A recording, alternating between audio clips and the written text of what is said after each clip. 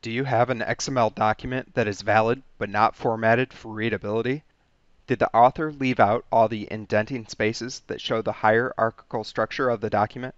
You can fix that with two lines of PowerShell. First, load the Linq assembly. This is part of the standard .NET library. Reflection.assembly is the name of a class for which we will use a static method, load with partial name. System.xml.Linq is the assembly name.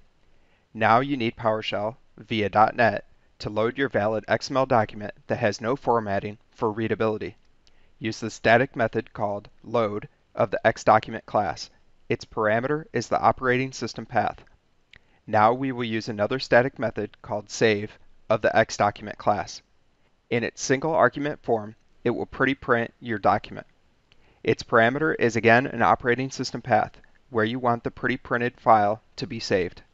So that is how to pretty print or reformat an XML document to show its hierarchy using only two lines of PowerShell. Please thumbs up and favorite this video if it helped you.